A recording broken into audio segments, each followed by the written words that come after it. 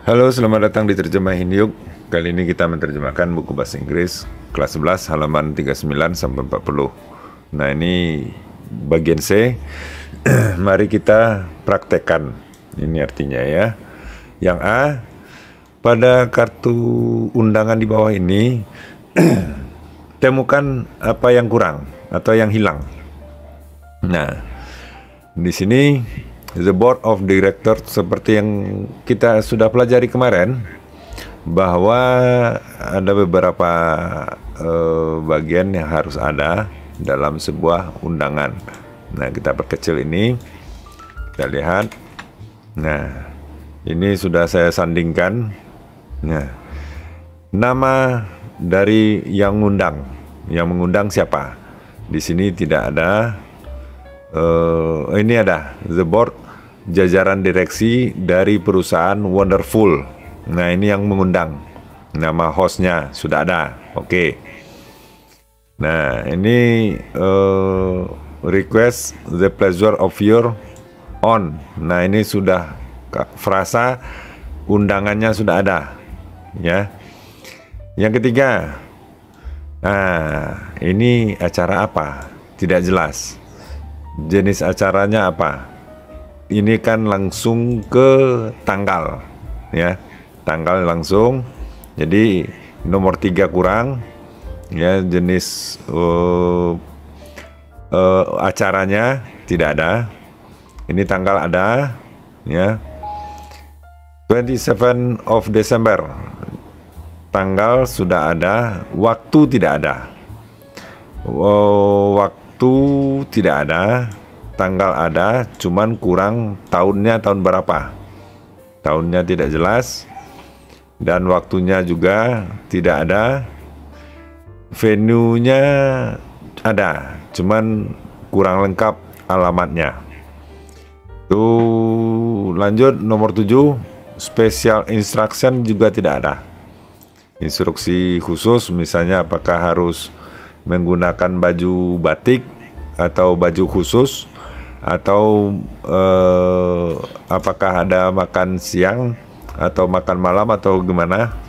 Ya jadi itu tidak ada. Terus request to respond juga tidak ada.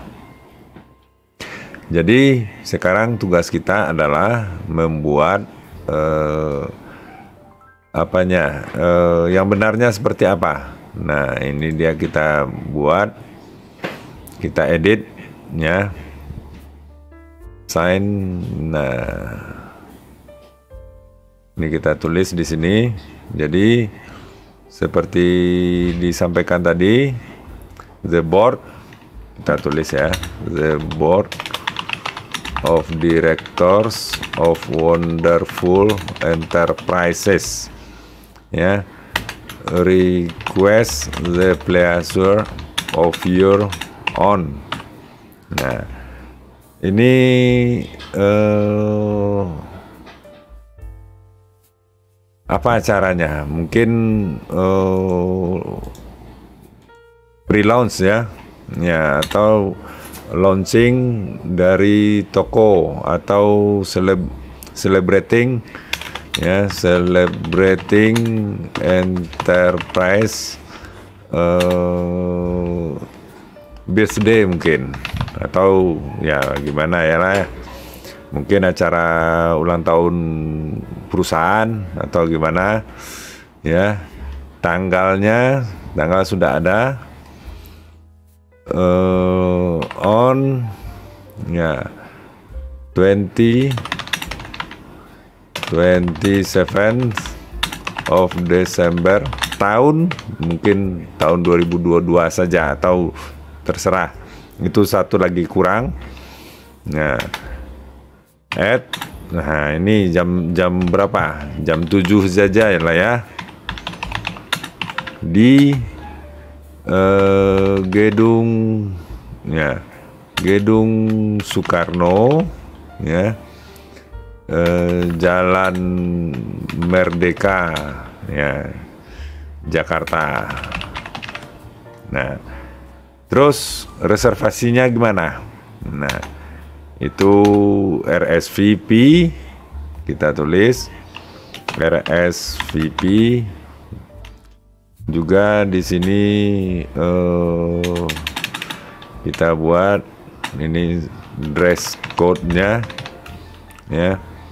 RSVP misalnya Budi ya. Dress code-nya uh, batik. Nah seperti itu. Nomor telepon si Budi 081234567889 nah seperti itu. Terserah. Emailnya terserah ya. Nah barangkali ini yang harus diperhatikan ya. Kalau bentuk tulisannya kalian percantik sendiri ya. Kalian bagus-baguskan. Ini salah untuk uh, jenis hurufnya ini jenis huruf yang salah. Dia jenis huruf yang kaligrafik ya. Uh, tegak bersambung atau miring bersambung boleh. Ya ini tidak yang formal seperti ini. Nah itu dia untuk uh, halaman 39 lanjut. Nah ini responnya. Nah sekarang responnya seperti apa? Kita lihat contohnya nah bisa juga kita merespon seperti ini uh, Mister uh, mungkin kita namakanlah uh, Mister Jono ya Mister Mister and Mrs. Jono accept the invitation with pleasure. Nah, seperti itu. Nah, itu jawaban dari invitation halaman 39 dan eh 38 ya. 3 39 ya dan 40.